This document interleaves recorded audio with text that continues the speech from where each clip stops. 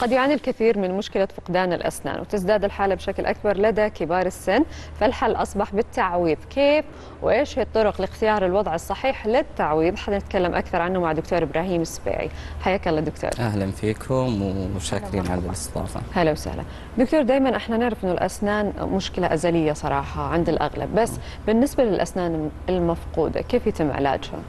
في كذا خيار لتعويض الأسنان. أوكي. آه في دائما عندنا يكون الخيار الأول آه تعويض الأسنان باستخدام زراعة الأسنان.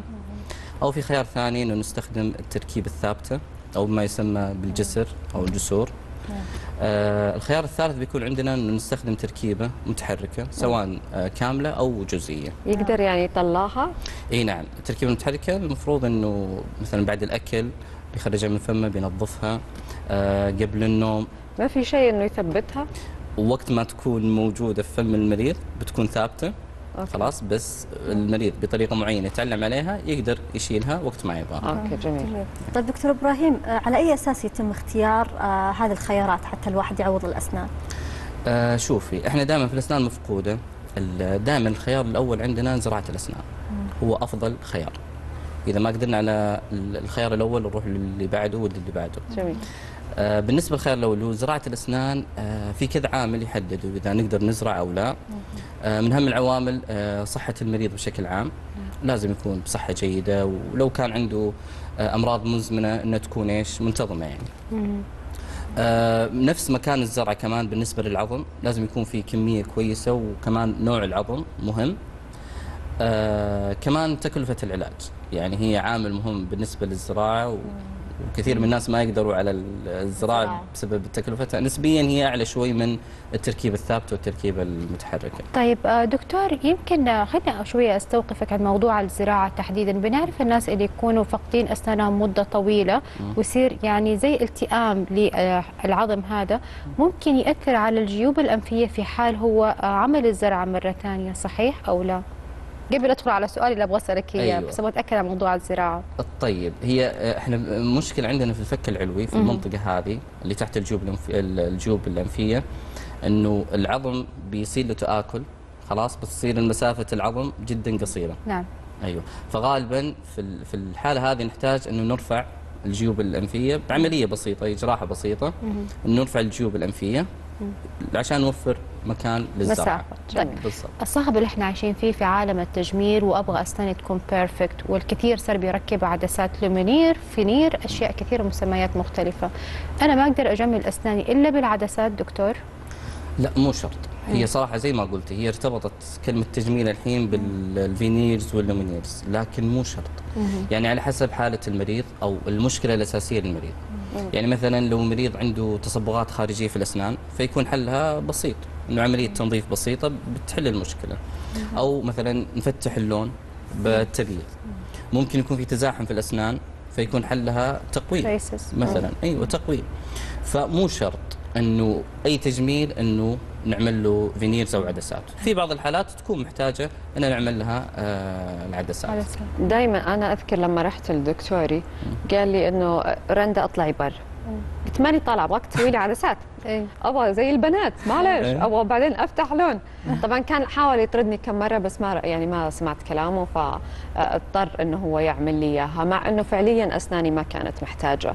أبغى أعرف إيش الحالات اللي ممكن يعمل فيها الشخص. يعني أنا عملتها دلع صراحة بس إيش الحالات الفعلية اللي أيوة. تحتاج إنها تركب عدسات؟ أيوه أنا زي ما قلت لك هو مو كل الحالات اي عرفتي؟ وبصراحة هذه نقطة مهمة إنه المفروض المريض مو هو اللي يشخص نفسه يعني والله يعطي شخصت نفسي أي. وأعطيته وجلست ويلا. اي هذه مشكلة بنعاني منها صراحة إنه كثير من المرضى يجيك بالتشخيص وبالعلاج. شتى أو زي معليش رندا زيك. عرفت؟ يجي بالتشخيص والعلاج. هذه مشكلة كبيرة. آه لكن الأسنان إحنا دائما نحاول نبدأ بعلاج تحفظي أكثر. أوكي. يعني مثلا بتنظيف خلاص نطلع شوية تبييض.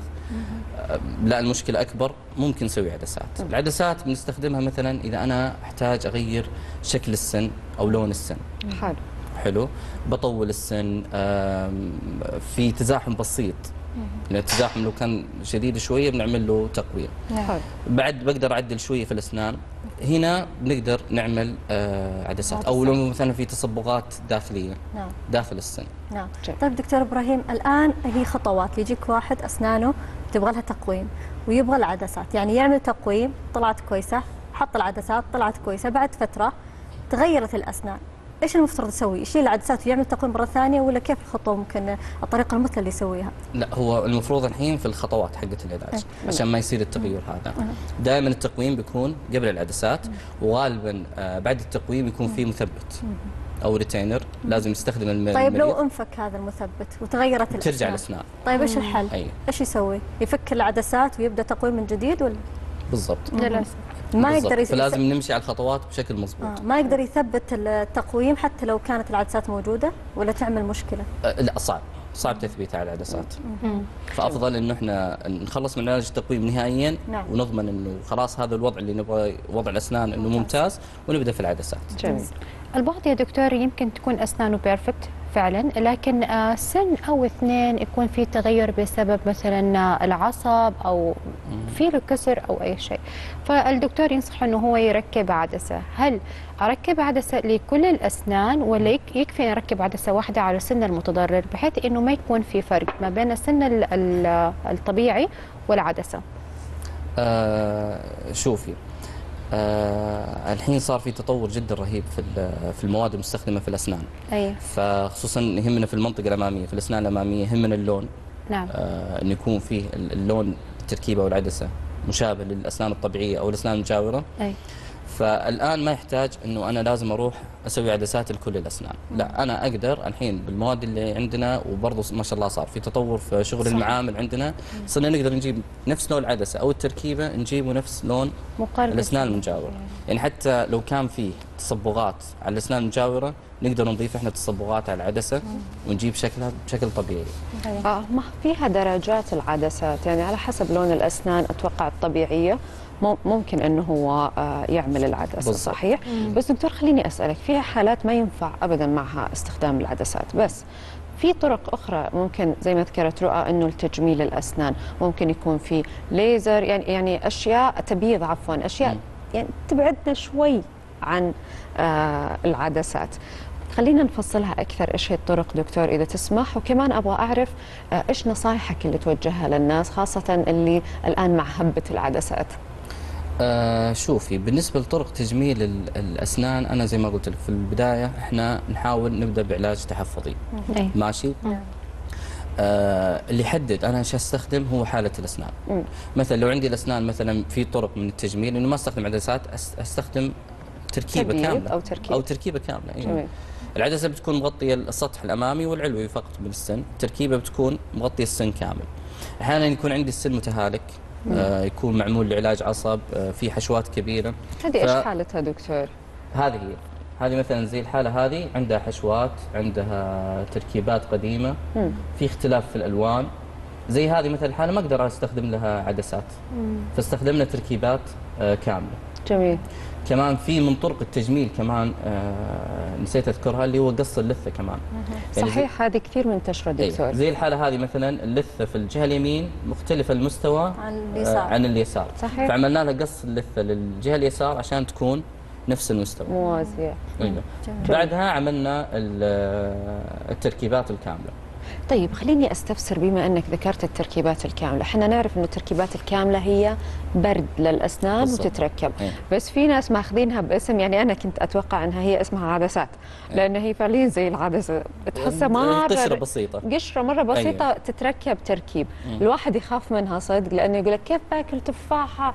كيف آه، هو كبسة. شوفي آه. هي شوفي آه عملية البرد بالنسبة للعدسات هي حاجة بسيطة إحنا. بنبرد تقريبا نص ملي. لكن المشكلة في العدسة نفسها آه، من السهل إنها تنكسر. من يعني السهل. أيوه لازم المريض يغير نمط حياته شوية. يعني مثلا الأشياء اللي مثلا زي المكسرات مثلا هذه ما يقدر ياكلها العدسات. هذه ممكن تكسر له العدسه هي الأشياء الجامدة هذه لا. يحاول يبتعد عنها ممكن يقطعها قطع صغيرة. أيوه. عليها. أيوه عشان يحافظ عليها. طيب بالضبط. دكتور البعض آه، يحتار إيش يسوي بأسنانه. يا يكون عدسات أو تكون التركيبة لأن التركيبة فيها برد زي ما ذكرت رندا إيه. إيش الأفضل برضو على على حسب حسب حالة. الأسنان صحيح. يعني لو أنا يعني حتى لو خيرك الدكتور تبغى كذا ولا كذا لا. غالبا ما يكون فيها خيار ما- ما الدكتور. يكون فيها لا خيارات، ما هذه ما. فيها خيارات إحنا زي ما قلت لك أنا بحاول أبدأ بالعدسات لأنه برد أخف من البرد الكامل خلاص الحالة هذه ما أقدر أستخدم فيها عدسات فبنستخدم التركيبات. والله خليني أقول لك سر. قولي. والله أنا أحس ان الدكتور يبغى يخانقني. أنا أول ما جيت على الدكتور قلت له أبغى برد أبغى من جوا ومن برا يكون لونها أبيض. يعني آه، تخيل سويتي تلبيسات كاملة. لا ما سويت عيا بس سوى لي عدسات عيا والله العظيم مرضى. والله تكرهي دكتورك لما يكون مرة لا. يعني آه، بالعكس أنا أحب. الدكتور لما يكون صريح معايا لأنه أنا من الناس اللي عملت آه، تلبيس للأسنان بالفينير وندمت. ندمت لأنه سو عملت لي قص لثة. بعد فترة صار ارتخاء. فلما تن- تنزل اللثة على التركيبة تعمل لك مشاكل ثانية ففتحت على نفسي مشروع ثاني. بالضبط. والشغلة الثانية أعتقد أنه آه، من ثلاث أربع سنوات كانت التلبيسات آه، كأنها لبان غندور ما كأنها تلبيسة أسنان حقيقية. بالضبط. فتضطر بعد فترة أنك تغيرها يا دكتور. بالضبط. أيوه. فإيش إيش ممكن يكون حلها هذه؟ هل إني أنا أستسلم وأقعد بيها ولا ممكن إني أنا أغيرها وأروح لتلبيسات ثانية؟ مع العلم أنا ما برت أسناني لو أبغى أشيلها. يعني انت؟ تسوي لومينيرز يعني اي أقدر أشيلها من غير ما أحط تعويض ثاني؟ طيب هو أي. شوفي آه أنا دائما أقول إنه العدسات أو التلبيسات مم. هي تنقسم لجزئين في جزء على يعتمد على الدكتور وعلى شغل المعمل أو على المعمل والدكتور مهم. والجزء الثاني على المريض حلو إذا انعمل الجزء اللي على الدكتور بشكل كويس بمعنى إنه البرد تم بطريقة آه، صحيحة المقاسات انعملت كانت دقيقة خلاص كذا يصير الدكتور سوى اللي عليه أي. يبقى الباقي إيش على المريض في. الاهتمام أيوه لازم يكون في اهتمام أكثر كمان أوكي أيوه فممكن الدورية. أيوه التهابات ارتخاء اللثة هذه ممكن برضو بتكون بسبب المريض اللي ما بينظف كويس تمام مش مم. مهتم مو من أيوة. القص مو من القص إنه الواحد قص وممكن ترجع لا لا لا أتوقع إنه. آه. من اهتمام المريض نفسه أي. انه ما بي بي- ما بينظف كويس وكثير من الناس مهملين استخدام خيط الأسنان أو أيوه يعني أغلب الناس بس مركزين على الفرشة. مو بس. كذا حتى بعد ست. شهور يقولون لازم تعمل تنظيف حتى لو حاط عدسات صح تنظيف على الأسنان تنظيف إيه، تنظيف الأسنان لها- تشيك عليه. لا العدسات شوفي. ترى العدسات إحنا ما نسوي لها تنظيف صحيح. العدسات لأنه ممكن تكسر ال- أي. أيوه ما نسوي لها اللي في العيادة ما نستخدم ال- الجهاز إنه ممكن يكسر لنا العدسات صحيح لأنها رقيقة مرة بالضبط. رقيقة يعني حتى تخافين تاكلين عليها تفاحة من يعني تحسفين على الفلوس اللي دفعتيها طيب دكتور لو أبغى أسألك في بعض الأشخاص آه، ذكرت آه، آه، رؤى إنه يفقد سن واحد فيضطر إنه يركب. بس اسنانه يعني الباقي تمام. الباقي تمام بس إلا سبحان الله حتى لو أنت حاولت توحد يكونوا نفس لون أسنان الشخص اللي يكون في اختلاف بسيط. مم. هنا تعملوا له تبييض ولا تضطرون إنه أنتم تلبسون له عدسات؟ طيب مثلا لو حتى تركيبات اي يعني. مثلا لو كان لون الأسنان مثلا غامق اي والمريض يبغى يفتح لون أسنانه. وعنده مشكلة في سن واحد. اي إحنا إيش نسوي؟ بنفتح لون الأسنان نعمل تبييض حلو الباقي الأسنان. نترك السن اللي فيه المشكلة. جميل. بعد فترة معينة لحد ما يثبت اللون خلاص نبدأ نسوي العدسة تمشي على اللون الجديد. جميل. اللي صار له بعد التبييض. جميل. حبيت هذا الفكرة. اي والله. لا بس أنت عدسات كاملة ما فيها مجال. والله أنا عدسات كاملة. بس يعني كان نفسي كذا أحفرها وأحط أنت اخترعت. علاج كامل أنت للدكتور أنت. أنا والله يتعذب معي بس الحمد لله مرتاح مني من خمس سنين. يعطيك ألف عافية دكتور. أحمد. شكرا لك. شك... إبراهيم عفوا. شكرا لك. شكرا الله يخليك معنا الله يعطيك هلا. العافية. خلونا نطلع فاصل أكيد راجعين مكملين.